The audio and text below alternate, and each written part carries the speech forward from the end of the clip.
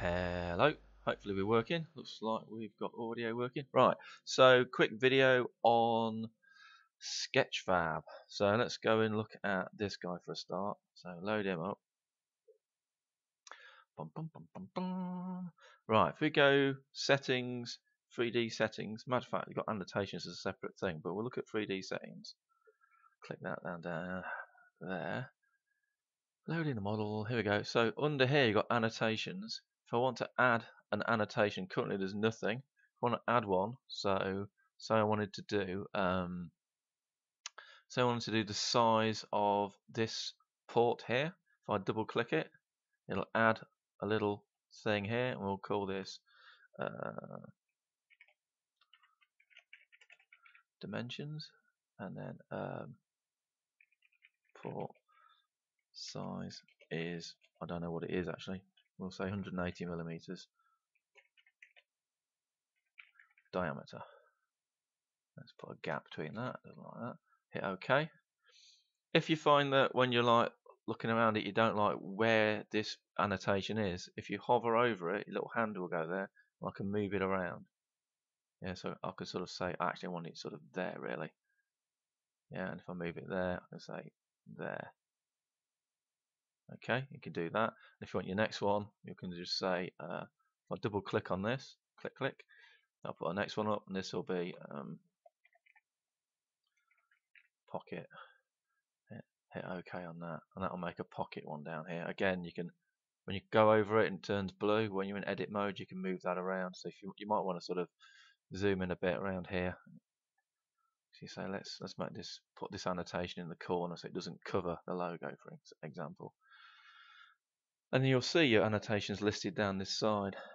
Um, you can. What, is, what does that do? You know what? I don't know what that does. Let's click on this. Ah, there you go. So that does a little screen grab of that. Okay. So you could do ooh, like that. And take that one. There we go. So that'll do the pocket. We go in here. Go to this guy in here, zoom in. Matter of fact, we will move you so you're this side. Makes more sense. We'll do that. Then we can do a picture of that guy as well. So you can see the port and we can see the pocket. And that basically is how to do annotations. So you could do the next one, you could just double click here, put one on the side and we could, could put on this um, uh, side side door or side window, however you want to call it. And again, we can sort of frame that up, take a picture of that as well. Okay, and that basically is annotations. That will do with that. So if we go over to the VR thing here, ah, look, I haven't even done this. This is quite good. So what we want to do for someone looking in VR, we want it, this to be the correct size. So you need to scale your guy up and down to sort of match how big this is. So we're going to size it down until he's about that's too high because this, this, is a two meter high tent isn't it so you want to be slightly lower than that so let's go 110 108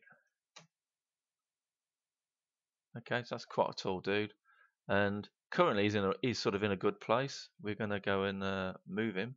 So you can click on his feet and you can move him backwards and forwards. So if you're trying out your VR headset and you find your, your initial place is too either too close or too far away from the thing you're looking at, you can change your start point to bring him closer or take him further away. You can also, this little arc down the bottom, you can turn him.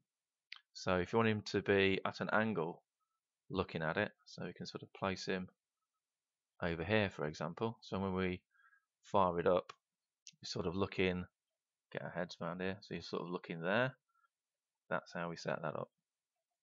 We will though turn him around so he's forward and about there-ish. There we go. Drag him over slightly. Right, I don't know what this outer circle edges. I'm not sure what that's about. So I might just pop him so he's a bit closer so he breaks into that.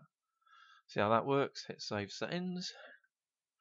And that basically is how to set up your VR. So um, if we exit this, we'll say save settings and exit. Right, it loads model. Boom, boom, boom. So now you've got annotations, yeah, and uh, you can go and edit them. I'll, I'll leave them as is, and you can add more and edit. Uh, if we go back to here, go in here, just to show you what I've done with the VR settings in here. So settings, 3D settings, go to VR. So what I've got here, I set your VR guy up so that it's head height and the same sort of size. We could add a plinth here and drop this down so you're looking around it. Um, we'll probably play with this next week when we get a proper headset to have a look and uh, work out exactly what we're doing. So I'll exit that and go in here. And the only thing else to look at is a bloom settings. If you find bloom's like a, a, a glowy type of effect. It gives you the this glow effect. It makes things look really sort of shiny and new and great and wonderful. Um, but you can turn it off if you don't like it, or you can turn it down if you don't like it. Where do we find that? So 3D settings again, just to fine tune how your products look. We can go over to the little post-processing filters. Okay, and we've got Bloom on here. Let's open Bloom up so you can see what the settings are. So it's um, at what point does it start to bloom? How intense is it? And what's the radius of the bloom? And we'll turn it off. So that's no bloom. That's just a clean model that reflects. Yeah, and I turn it back on again. That adds the bloom. And we've got the radius, uh, we've got the intensity at 29.4, just so I remember. So I can increase that or decrease that. Wherever you find it to be like cool. So we'll just exit that. And that's that. So, uh, yeah, there you go. That's how to do a few bits of editing. Um, that's pretty much it. I only got a field of view, but we'll, we'll leave all these things more or less here. We've got, yeah, we don't want to go into, this is where I play. I'm in here setting all these things up. It's much, much fun. Right. Um, that'll do, I think. That should get you going.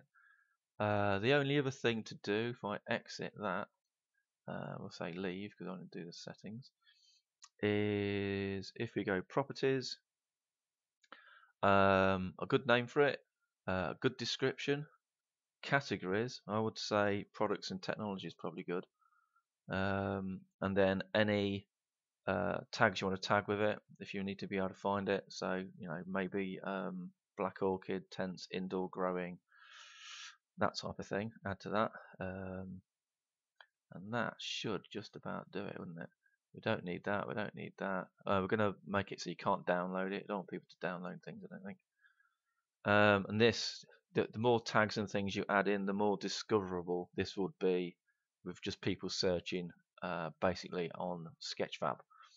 Um, yeah, that will do. Right, catch you later. We'll hit cancel on that, and that'll do. Done.